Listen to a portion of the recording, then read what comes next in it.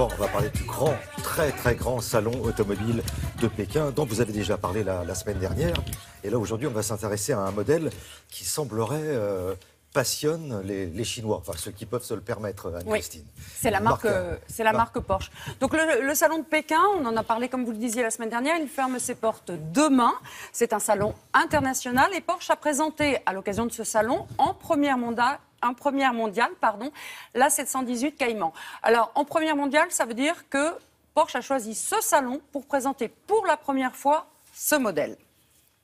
Alors depuis 2001, le constructeur allemand vend des voitures en Chine euh, et en 2015, pour la première fois de son histoire, la Chine est devenue le plus gros marché pour cette marque.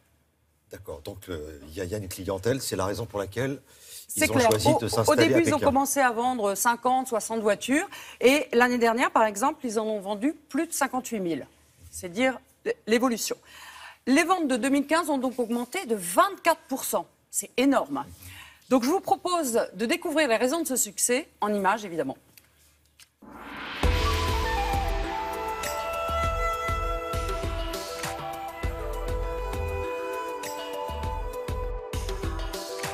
Nous avons choisi Pékin pour euh, lancer une première mondiale, la 718 Cayman, parce que c'est un marché qui est devenu vraiment très important, extrêmement dynamique, qui se développe très très rapidement. Le client chinois en général pour nous est beaucoup plus jeune, alors qu'on a une moyenne d'âge à peu près de 50, 51 euh, ans dans le reste du monde. En Chine, nous avons une clientèle extrêmement jeune avec une moyenne d'âge autour de 38, 39 ans. 30% de nos clients ont moins de 30 ans en Chine. point de vue économique, le fait de ne pas produire en Chine et d'importer la voiture fait que la voiture est énormément taxée. Elle est plus taxée, bien évidemment, que si elle était produite ici. Mais nous faisons en sorte que le prix soit accepté par nos clients et les chiffres le montrent. Ici, en moyenne, le prix d'une Porsche, si on compare avec les États-Unis, est à peu près le double.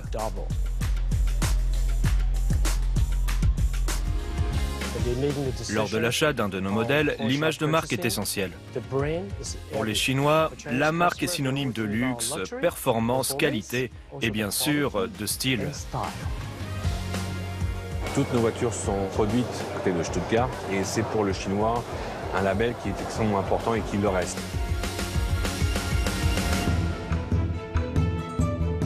En Chine, nous avons adopté quelques spécificités. Par exemple, nous avons introduit, pour des raisons fiscales, un moteur spécial pour la Cayman. C'est un 2 litres qui développe 250 chevaux et qui permet d'être très attractif et bien positionné sur ce marché. Nous avons aussi introduit la Panamera avec une version longue. Actuellement en Chine, les autres marques de luxe proposent également des versions allongées qui n'existent ni en Europe ni aux États-Unis. Ici, la plupart des gens ont des chauffeurs. Le meilleur exemple est le Panamera. Le chauffeur est seul à l'avant. Habituellement, le patron est à l'arrière. Et il veut être sûr d'avoir assez d'espace.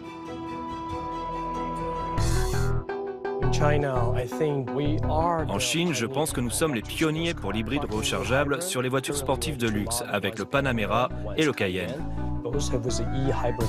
Les clients commencent à accepter cette technologie. C'est sûrement grâce à la politique environnementale, à la prise de conscience écologique et à l'éducation. Ils finissent par adopter le concept. Pour notre concession, nous nous attendons à ce que les ventes de véhicules hybrides rechargeables soient multipliées par deux cette année. L'hybride, c'est l'avenir